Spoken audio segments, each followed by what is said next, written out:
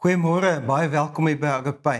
Klein gemeente met die groot groot hart. Daai hart wat plek het vir jou ook. Ons het vandag 'n baie interessante titel. Gewoontes wat jou siel beskerm. Is nie waar nie aan die begin van hierdie jaar. Wil ek en jy elke moontlike gewoonte aanleer wat ons 'n voorsprong gaan gee in 2023. En die die onderskrif is ontgin jou selfvertroue. Elkeen van ons kom soms op daai plek wat ons sê ek het meer selfvertroue nodig. Ek weet daar's meer in my as wat ek dink daar is. Maar ek het vandag vir jou nuus en ek dink nie dit is nuus nie. Die lewe is hard op ons siele. Richelle Goodrich het eendag gesê: The fact is life rains on you. How sad you haven't learned to dance in the downpour. Is nie waar nie. Die lewe reën met sy dinge oor ons en maak ons soms net moedeloos. En hoe jammer is dit ons het nog nie geleer hoe om te dans in die reën nie. Is dit moontlik George dat ek kan dans in dit wat my wil nat maak? Ja, jy kan. Maak nie saak hoe moeilik hierdie jaar is nie. Maak nie saak hoe taaf jou toekoms is nie. As jy hierdie inligting wat ek vandag vir jou gaan gee, gaan huis toe vat, gaan huis toe vat dan gaan jy ook leer hoe om te dans in die reën. Daar's soms baie dae wat ek opstaan wat ek nie hou van myself nie. Daar's baie dae wat daar dinge gebeur waar ek en jy skielik op daai plek kom. Dat ek myself in die spieël kyk en ek sê ek like nie meer daai ou wat ek daar sien nie. En dis hoekom ons sukkel in die oggend om op te staan. Dis dis hoekom ons sukkel om kans te sien vir die res van die dag want ons ons weet nie hoe spring ek hierdie dag weg En soms is die kern van die probleem dat ek en jy in ons kor soos die Engelsman sê onsself verag. Daar's 'n sterker woord. Soms haat ons onsself. Ons erken dit nie. Maar daai gevoel van ek is nie tevrede met wie ek is nie, is altyd daar. Jy sien jou en my siel. En onthou ons sê ons praat oor hoe gaan ek my siel beskerm in hierdie jaar? In my en jou siel is die plek waar ons vrese, ons hoop en ons drome leef. As ek daai plek nie oppas nie, dan ruk my vrese hande uit, my hoop verdwyn en my drome kom tot niks nie. Dis ook die plek waar teleurstelling, verwoesting kan saai in my hart en in my siel. Ja, ek het vandag vir jou nuus. Jy gaan vir my sê George, dis glad nie nuus nie maar slegs dit waarna jy aandag gee in jou en my lewe floreer. Ek kan dit sien in my tuin. Wanneer ek aan die plante aandag gee, dan floreer dit. Dit raak mooi, maar wanneer ek dit net uitlos, eet die insekte en die slakke alles op. Die droogte verdroog alles. Dink maar aan jou eie hare as jy in die oggend opstaan. Partykeer kyk ek in die spieël en ons skrik onsself boeglam vir wat ons daar sien. Iets het met daai haarstyl deur die nag gebeur want vir 8 of 9 ure het dit geen aandag gekry nie. En skielik as jy opstaan, kyk jy in die spieël en sê, "Wie kyk terug vir my?" Ek en jy gee aandag aan ons voorkoms, ons reputasie, ons prestasies, want dis die dinge wat mense kan sien van buite af. Dis daai dinge wat ons laat goed lyk. Maar my vraag vandag is, wat van ons siel? Gee ons regtig aandag aan ons siel of lê ons iewers so aan die slaap in ons denke dat ons siel soos 'n de mekaar haarstyl hande uittrek. Jy en ek is die enigste persone wat 'n verskil kan maak dit wat hier aangaan. Die Here het klaar gedoen wat hy moes doen in die sin dat hy al ons sondes vergewe het. Ons gaan net nou ietsie sê daaroor. Maar ek en jy het 'n baie belangrike rol om te speel in die verband. Jy kan die verskil in jou maak. Ek wil dit weet sê want dit is so belangrik. Jy kan die verskil in jou maak. En dit is hoekom hierdie volgende 3 weke so belangrik gaan wees in dit wat ek met jou gaan deel want ek gaan jou leer hoe om jou siel te beskerm om op 'n plek te kom waar jy ook kan uitstyg sonder moeite. Is dit moontlik om iewers te kom sonder moeite? Ja, dit is. Elkeen van ons kan uitstyg sonder moeite as ons siel gesond is. Want jy sien die welstand van jou en my siel bepaal ons kapasiteit skuis tog om gemaklik te wees met onsself. Goed dit gaan met jou siel bepaal jou kapasiteit in die lewe. Dit bepaal ook die die grootte van die gaping tussen wie jy is en wie jy graag wil wees. Want daar's altyd 'n gaping tussen wie ek is en wie ek graag wil wees, net soos daar in my beursie 'n gaping is tussen wat ek het en wat ek graag wil hê of nodig het. En my siel maak daai gapings kleiner. Daar's iemand met 'n baie moeilike naam, Mehmet Murad Ildan is sy naam. Ek dink hy is 'n Indiër. Hy het die volgende gesê: When you read a book, the book also reads you. The book will know you and will know who you are from the sentences that you underline. Dis nie waar nie. As jy 'n boek lees en jy het 'n klomp goed onderstreep, dan leer daai boek om jou te ken deur wat jy onderstreep. En my vraag vandag is: wat onderstreep jy in jou lewe? Hoe sien jou vriende jou? Is jou vriende en jou familie kyk wat jy onderstreep, wat weet hulle van jou? Ek onthou ons kom tans uit die COVID tyd uit en baie ouens het onderstreep hoe gevaarlik COVID is. Baie ander ouens het onderstreep dat dit 'n konspirasie is. En net so onderstreep ek en jy heeldag dinge waarmee ons gelukkig is en waarmee ons ongelukkig is. Ons vier die dinge waarmee ons gelukkig is en ons is boos oor die dinge wat ons pla. En die mense om ons leer ons ken deur dit wat ons onderstreep. Wat sien jou vriende? Jy sien die die welstand van jou siel en onthou ons praat oor hoe kyk ek, hoe sorg ek vir my eie siel? Verklein die gaping tussen wie jy is en wie jy probeer wees. Ek was nou net in die Wes-Kaap gewees. en ek het 2000 km ver gery sonder om een pothole te sien. Want die regering in die Wes-Kaap verstaan hoe om dinge te laat werk. Ek was sommer lus en trek so intoe. Dit lyk soos die eerste wêreldland daar. Want jy sien dinge kry aandag. My vraag vandag is: maak 2023 die jaar wat jy gaan aandag gee aan die paaie van jou hart. En ek gaan in die volgende twee Sondae en hierdie Sondag ingesluit, drie Sondae gaan ek praat oor drie gewoontes wat ons help om ons siel te fix. En wat is daai eerste gewoonte? En net voor ek daai eerste gewoonte aan jou wil verkoop, wil ek vir jou sê wat sê Paulus in Romeine 12. Ons lees vanaf vers 1 af. Skus tog. Broers, op grond van die barmhartigheid, die Engelse sê grace of genade van God, roep ek julle dus nou op om julle liggame dis die binne en die buitekant van ons liggame beskikbaar te stel as 'n offer. Met ander woorde, iets moet sterf wat lewend en heilig is en vir God aanmeen aanneemlik is. Dit is julle sinvolle godsdiens. Nou, sin woord sinvolle. Dis 'n baie interessante woord dis in Engels en Grieks die woord logikos waarvan logic afgelei word. Baie mense sê vir my godsdiens is nie logies nie. 'n Verhouding met die Here is nie logies nie. Geloof is nie logies nie. Ek verskil van hulle want Paulus sê hierso. Om hierdie dinge doen, dan gaan jou godsdiens logies wees. Dit gaan sinvol wees. Nou, hoe kan die gee van 'n offer logies wees? Paulus, is dit nie te veel gevra nie? Hierdie ding wat jy aan ons verkoop, is nie te veel gevra nie. Kan ek nie maar net met God kontak maak op daai oomblik wanneer ek hom nodig het nie? En jy agterkom mense wat so leef. God is net vir hulle 'n God as hulle hom nodig het. Se lewe leef so in loops.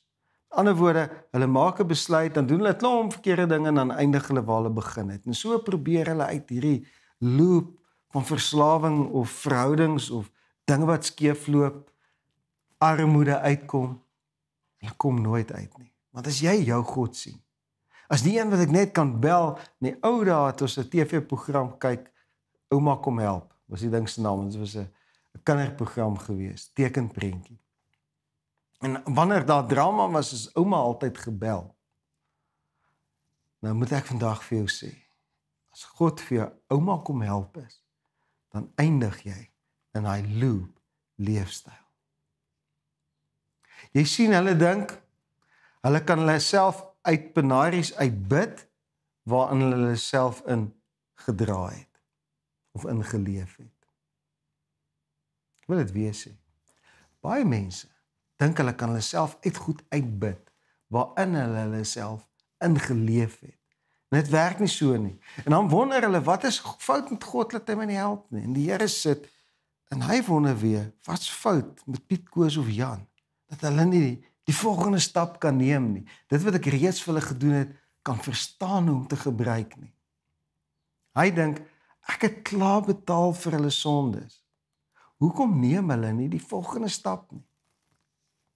Ek glo dan as 'n nagedagtenis dat ek die Vader gee oor. Vertrou my. Ek kan jou help. Hoekom gebruik Paulus hierdie woord logikos? Logika.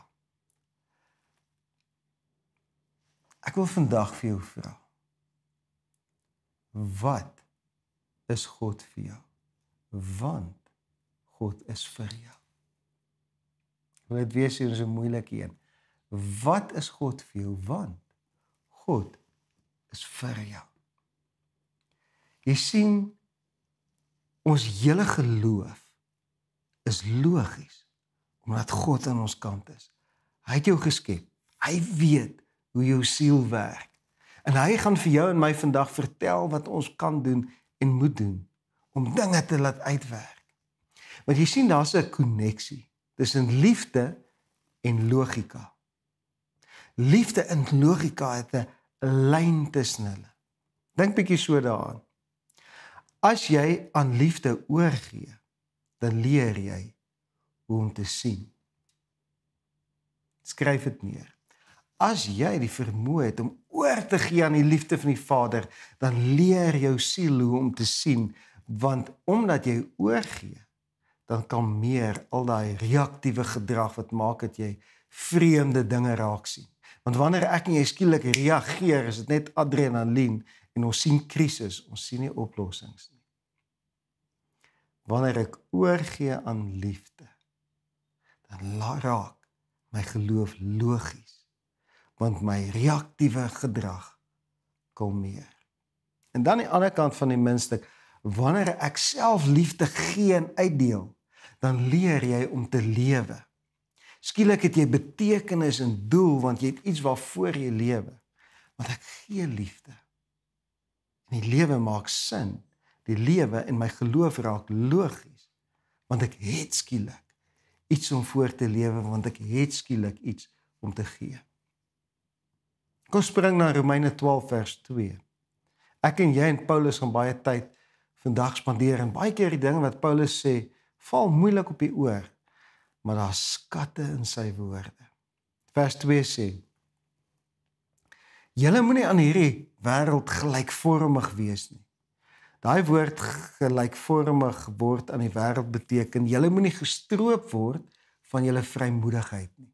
Dis ongelooflik belangrik.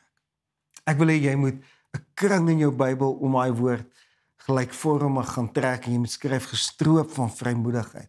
Want Paulus sê julle moenie gestroop word van julle vrymoedigheid. Hy gaan aan hy sê want maar julle moet verander word deur die vernuwing van julle denke. En daai woord denke beteken 'n gemoed wat in staat is om 'n nuwe begin te kan raak sien. Baie mense is moedeloos en dit nie hoop nie want hulle het nie 'n gemoed wat 'n nuwe begin kan raak sien nie. Maar word verander deur die vernuwing van julle denke. Kry 'n brein, kry 'n gemoed wat die vermoë het om 'n nuwe begin te kan raak sien. Agape is ons visie. En ons sê dit baie keer. Is om mense toegang te gee tot 'n nuwe begin, kontak met nuwe vriende en 'n nuwe strategie vir hulle lewe.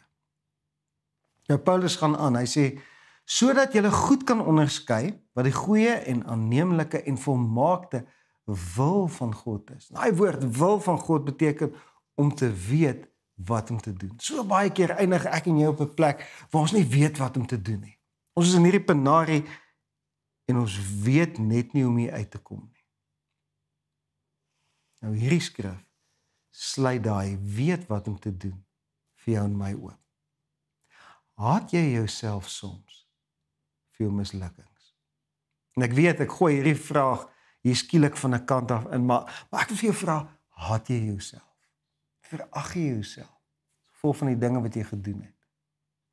Hoor wat sê Romeine en dis weer Paulus wat Romeine geskryf het 6 vers 14 sê die sonde voor ek verder lees ons almal ag gaan so koue rilling deur ons stelsel as ons die woord sonde hoor ons voel skielik skuldig oor iets wat ons dalk nie eens gedoen het nie die woord sonde beteken om die teiken te mis dis baie belangrik om die teiken te mis so hierdie vers sê die sonde om die teiken te mis mag beslis nie oor jou heers nie. Julle is immers nie onder die wet nie, gaan hy aan, maar onder die genade. Daai woord genade beteken selfvertroue wat vir jou teruggegee is. Dink bietjie so daaraan.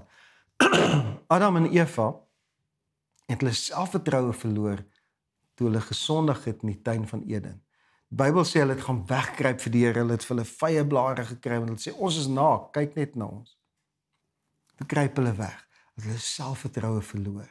En genade beteken om jou selfvertroue weer vir jou terug te gee. Nou sonde om die teiken te mis, om jou teiken te mis, bring skande oor ons lewe. Nou ek en jy voel useless en useless en hopeloos wanneer ons by die plek kom waar ons 'n fout maak. En om die teiken te mis, bring skande oor ons. Maar genade, herstelde selfvertroue, bring nuwe hoop en nuwe horisonne. Hoop en horisonne, want slegs mense wat hoop het, kan die nuwe horison sien en kan die nuwe môre sien en soontoe gaan. Nou ek wil vandag 'n waarskuwing gee. Moet dit nie aan jouself doen om gereeld jou teiken te mis nie. Moet nooit so optree dat jy jou eie selfvertroue breek nie. Ou ry nou die dag voor my in en ek stop by 'n parkeerplek letterlik agter hom. En ek klim daar uit en ek sê vir hom jou Bobbejaan, kan jy nie kyk waar jy ry nie? en hy kyk met verskrikte verwarde oë na hierdie ou wat hier van 'n kant af op hom kom en 'n klomp mense sien my en ek is vies vir hierdie ou. En uiteindelik stap ek weg. ek dink so oor wat gebeur het en ek besef vir al die mense wat dit gesien het, het ek my eie selfvertroue gebreek deur my eie optrede in daai oomblik. Dit maak my nie 'n slegte mens nie, maar daai een oomblik het ek so opgetree dat ek myself beroof het van my eie selfvertroue en vrymoedigheid want voor daai mense wat my gesien optree het gaan ek mos nou nie weer vrymoedigheid hê nie. Ek gaan nie ook kan kyk en goed voel oor myself nie. So moet nooit so optree. Moet dit nooit aan jou siel doen dat jy jou eie selfvertroue skade doen nie.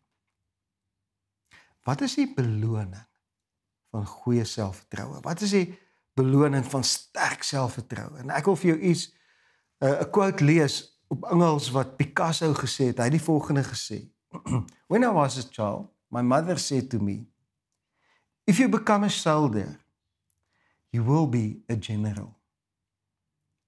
If you become a monk, you will end up to be the pope. Instead, I became a painter and I ended up as Picasso. Met ander woorde Picasso sê. My ma of my ouma het vir my gesê as jy soldaat word, sal jy generaal word, as jy 'n monk word, sal jy die paus word. Toe word ek 'n verwer en toe eindig ek op as die verwer in die geskiedenis, die Picasso.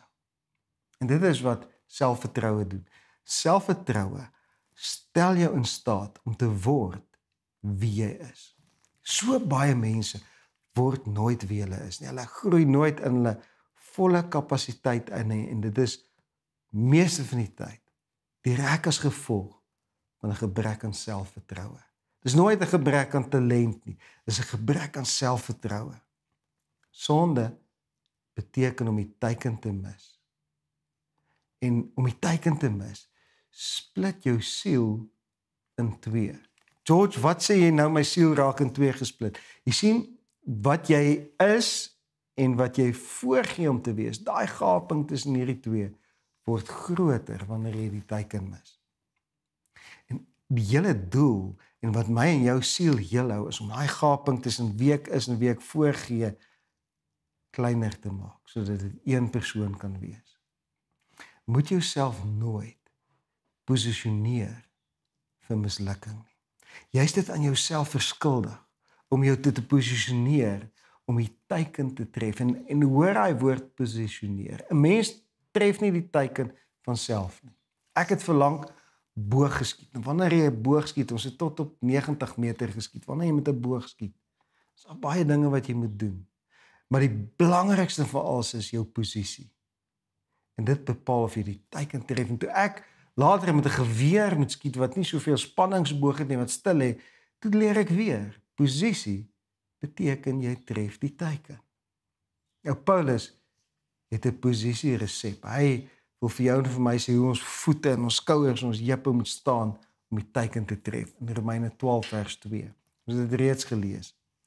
Julle moenie aan hierdie wêreld gelykvormig word nie.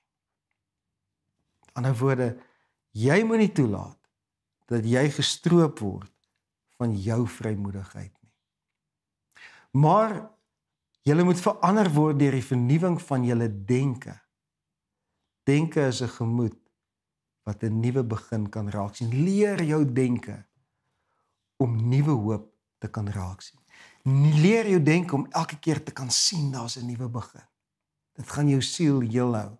Dan gaan hy aan sodat jy goed kan onderskei wat die goeie en aanneemlike en volmaakte wil van God is. Wil beteken om te weet wat om te doen. Wanneer jy hierdie goed doen, gaan jy weet wat om te doen. Jy gaan nooit onseker wees nie. Jou selfvertroue gaan nie daarmee heen wees nie. Want jy gaan daai persoon wees wat in 2023 in elke situasie presies weet wat om te doen. Ek wil afsluit met 'n waarskuwing. Moet God nooit verminder tot vergifnis en 'n backup plan nie. Baie mense vir hulle is God net vergifnis van sonde en 'n backup plan wanneer hulle droog maak. En God en jou verhouding met hom is soveel meer as dit. Ek wil Romeine 12 vers 2 weer lees, maar die keer wil ek 'n klem op drie ander woorde vir jou gee. Hy sê julle moenie aan hierdie wêreld gelykvormig wees nie, maar word verander deur die vernuwing van julle denke sodat julle goed kan onderskei wat die goeie en aanneemlike en volmaakte wil van God is. Die woord goeie beteken om bevoordeel te word. So hy sê jy moet goed kan onderskei wat die wil van God is wat jou gaan bevoordeel. Baie mense dink die wil van die Here gaan hulle net kos. En verseker kos sy wil geloof en dit kos baie keer 'n prys. Maar dit bevoordeel jou altyd. En die aanneemlike. Die woord aanneemlike beteken jy en jou gewete stem saam oor iets. En dit skep selfvertroue. Met ander woorde, wanneer jy daai goed doen waaroor ek net nou gepraat het, gaan jy die aanneemlike wil van die Here ken, 'n gewete wat saamstem met jou. Soveel mense is in konflik met hulle self en dit steel hulle selfvertroue en die volmaakte wil van God. Die woord volmaak beteken iets wat groei. Met ander woorde, wanneer ek in daai wil van die Here kom, dan groei als in my en als groei om my. Maar hoe gebeur dit? En ek wil spring van Paulus af na Lukas toe. Lukas was 'n baie slim man, hy was 'n dokter gewees. Hy skryf in Lukas 9 vers 23. Toe het hy vir almal gesê: As iemand, dit is nou Jesus wat dit gesê het, as iemand my wil navolg, moet hy homself verloon. Daai ons het net nou heel aan die begin gepraat oor offer. en elke dag sy kruis opneem en my volg. In ander woorde, gewoonte 1 om jou siel te beskerm. Die gewoonte waaroor ek tussen die lyne gepraat het, maar wat ek nou vir jou gaan uitspel, wat jou siel gaan heel, is gee jou wil oor. En verloor jouself in die liefde vir jou Vader. Gee jou wil oor verlore in liefde. Daai is sê daar's 'n koneksie tussen logika en liefde. As jy oorgee aan liefde, dan kan jy sien want dit kalmeer jou reaktiewe denke. Ek wil vandag jou in die oë kyk en ek sê kom by die plek waar jy oorgee aan die liefde van jou Vader. Dit is so belangrik want hou op om jou eie swakhede as 'n verskoning te gebruik in jou eie kop kom jy voor die tyd besluit hy gaan my nie lief hê nie. Hy klaar betaal vir dit. Gee oor aan daai liefde en jy sal sien. Jy sal sien dat jy sien hoe meer jy oorgee. En dit is baie belangrik. Jy gaan nuwe hoop hê want jy gaan die horisonne gaan begin sien. Jy gaan meer hoop hê want jy gaan potensiaal begin sien. Jy gaan in die oë van die Vader kyk en jy gaan word soos hy. En dan die tweede ding van liefde. As jy dit uitdeel, sal jy lewe want jy kry betekenis en doel. En ek wil vandag vir jou in die oë kyk en 'n stap saam met ons 'n pad waar ons jou kan uitdaag en waar jy jouself kan momentum gee om die wêreld om jou lief te hê soos jy nog nooit lief gehad het nie. 'n Liefde wat nie jammer kry nie, maar 'n liefde wat sterk genoeg is om te verander.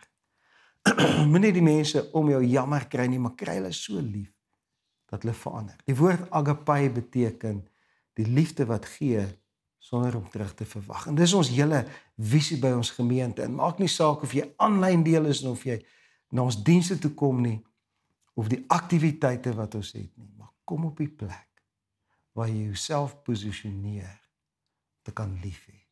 Kom op die plek waar jy jouself tussen mense sit wat jou liefhet net soos wat jy is. Jy verdien dit om lief te word. Kom ek bid vir jou. Vader, ek wil vir elkeen wat vandag na my geluister het bid. ek wil elkeen voor u kom sit. En ek wil sê trek 'n streep vandag vir hulle tussen logika en liefde. Maak hulle verhouding met U logies sodat dit kan sin maak. Leer ons dat liefde die sleutel is na daai daai verhouding wat sin maak. Maak ons bold en sterk genoeg om die offer te bring om ons wil vir U te gee. Maar gee dan ook daai selfvertroue in ons elkeen. Waar sonder ons nie die toekoms kan ingaan, suksesvol kan wees nie. En ons eer U daarvoor. In die naam van Jesus. Amen. Ek wil elkeen van julle seën met 'n week waar jy die liefde van die Vader sal ervaar soos nog nooit nie en waar jy liefde gaan uitdeel soos nog nooit nie. En as jy voel jy wil graag belê in ons bediening sodat ons daai liefde saam met jou kan uitlê in YouTube net onder in die beskrywing staan ons bankdetails of op ons webwerf agape.co.za kan jy dit kry raak deel van wat ons doen sodat ons hierdie land en hierdie nasie van ons op die plek kan kry waar ons nasie aandag kry sodat alles kan groei. Geniet hierdie week, geniet elke sekonde daarvan voluit. Mooi dag vir jou.